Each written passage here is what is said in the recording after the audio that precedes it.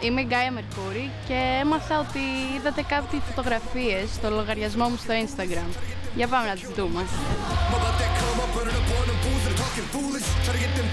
Λοιπόν, αυτή η φωτογραφία ε, ήταν σε ένα φανταστικό σπίτι στο Connecticut στην Αμερική που έχει άπειρα ζώα, δηλαδή έχει παγόνια, έχει πρόβατα, έχει άλογα, έχει τα πάντα και έχει και κάτι κότες που είναι σαν βελούδινες. Είναι φανταστικές και απλά φουλαστίες και κάθονται σαν, σαν γάτες επάνω σου.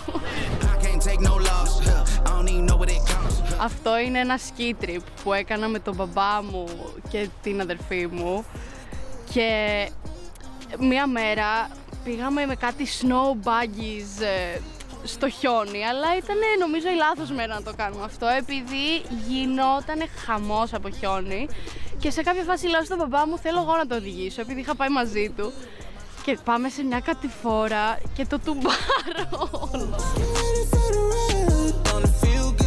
Αυτή ήταν μια αρκετά ευχάριστη μέρα. Πήγαμε με κάτι φίλους να βγάλουμε φωτογραφίες για το brand της φίλης μου. Κάναμε βόλτες σε όλη την πλάκα και απλά γελάγαμε, χοροπηδάγαμε και βγάλαμε κάτι φανταστικές φωτογραφίες στο τέλος και ήταν ένα ένα creative ε, σύνολο. Εκεί έχουμε πάει σε ένα τεράστιο κατάστημα ρούχων με πάρα πολύ κόσμο εκείνη τη μέρα, δεν ξέρω τι γινόταν. Και είχαμε βρει αυτά τα κορμάκια τα κίτρινα με τη φίλη μου. Και θέλαμε τόσο πολύ να τα δοκιμάσουμε. Και πάμε στα δοκιμαστήρια και είναι μια ουρά ατελείωτη. Και λέμε, ξέρεις τι, πάνω το τζιν, μπαμ μπαμ, να το δοκιμάσουμε, να το δούμε. Και είχα φέρει ένα film κάμερα μαζί μου και προφανώς έπρεπε να βγάλω φωτογραφία εκείνη τη στιγμή επειδή είχε πάρα πολύ πλάκα. Και γενικά όλες τις φωτογραφίες σε αυτό το scroll είναι είναι ακριβώς το Άμστερνταμ. Το περιγράφει τέλεια. Πω πω, φανταστική ημέρα, φανταστική.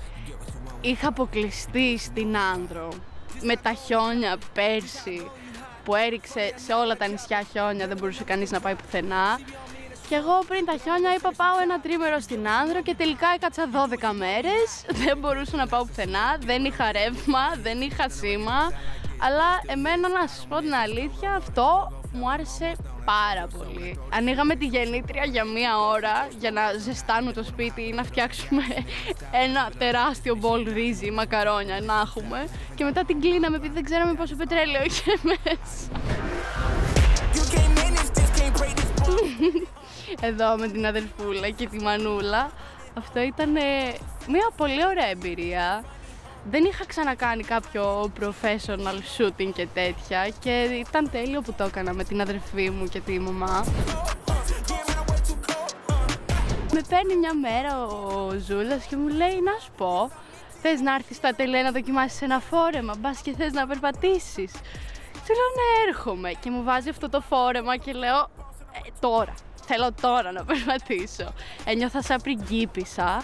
Βέβαια, στο τέλος της ημέρας δεν ένιωθα τα πόδια μου. Ε, φόραγα τα κούνια 4 με 5 ώρες. Είχα πραγματικά μου διάσει ολόκληρη, αλλά δεν πειράζει επειδή περπάτησα στο ζούλα και δεν πειράζει.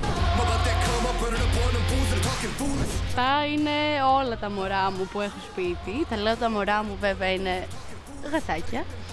Αλλά πραγματικά δεν ξέρω τι θα έκανα χωρίς τα γατιά μου. Ε, νιώθω περίεργα όταν δεν έρχονται να κοιμηθούν ε, μαζί μου στο κρεβάτι μου. Νιώθω ότι μου λείπει κάτι και όντως δεν μπορώ να κοιμηθώ.